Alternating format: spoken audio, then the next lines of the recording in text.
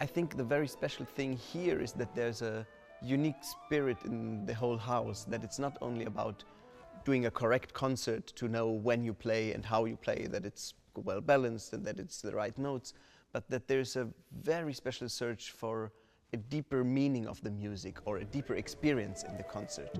And with the young people, my young colleagues, that's one of the unique things too, that we're um, we're all learning and we're all on our, way in solving technical challenges, but everybody has something really personal of why he's doing art and what he's, he's searching to do with this wonderful music, with this musical language.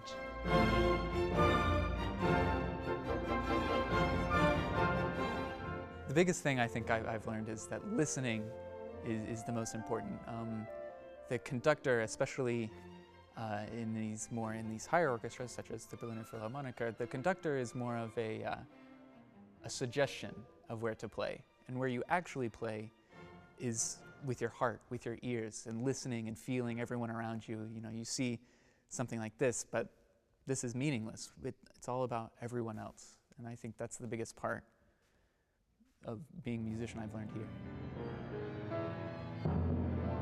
Also man sagt ja so, richtig Autofahren lernst du erst, wenn du den Führerschein schon hast. Also du machst den, du lernst alles, was du wissen musst und so.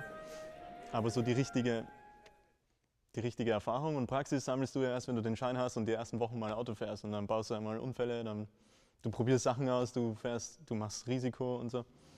Und das ist eigentlich hier ziemlich ähnlich. Also man studiert, man lernt, man übt und dann spielt man hier mit und dann geht es aber erst richtig los.